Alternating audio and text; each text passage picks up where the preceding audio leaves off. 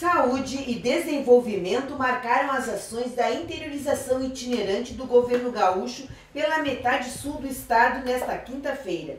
Em Canguçu, no Hospital de Caridade, o grupo participou da inauguração das novas instalações da instituição, com recursos da ordem de um milhão e meio de reais repassados pelo governo estadual. Aqui é, uma, é um trabalho muito emocionante até que a gente fez aqui com a prefeitura os novos gestores do hospital para prestigiar o Sistema Único de Saúde. Nós saímos de um financiamento de 4 milhões por ano para 10 milhões por ano.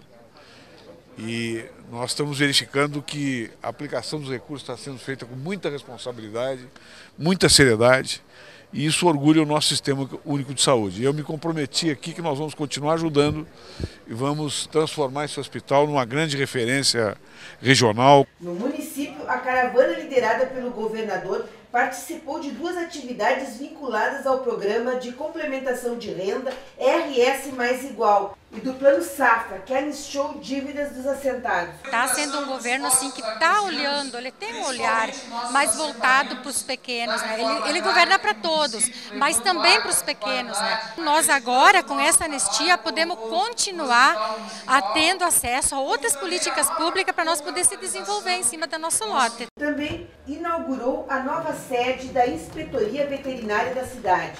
Em Pelotas, o grupo da caravana participou dos 40 anos da cooperativa Consulate e visitou o Engenho São Bento, uma unidade armazenadora de grãos que recebeu 2 milhões de reais do sistema financeiro gaúcho.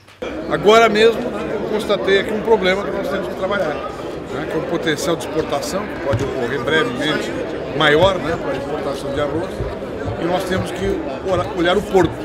Né? Então nós nos antecipamos a esses problemas a partir desse contato que a gente faz com os produtores e com os próprios trabalhadores. A agenda do terceiro dia da interiorização itinerante encerrou em Bagé, com a pré-estreia do filme O Tempo e o Vento, baseado na obra do escritor gaúcho Érico Veríssimo.